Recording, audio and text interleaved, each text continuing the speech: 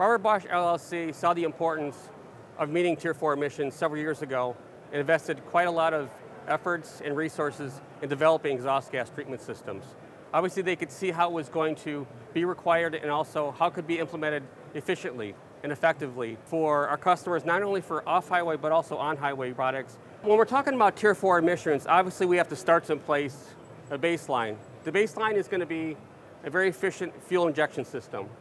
You see here a very high pressure Bosch system, a high pressure pump, high pressure fuel rail, solenoid driven injectors.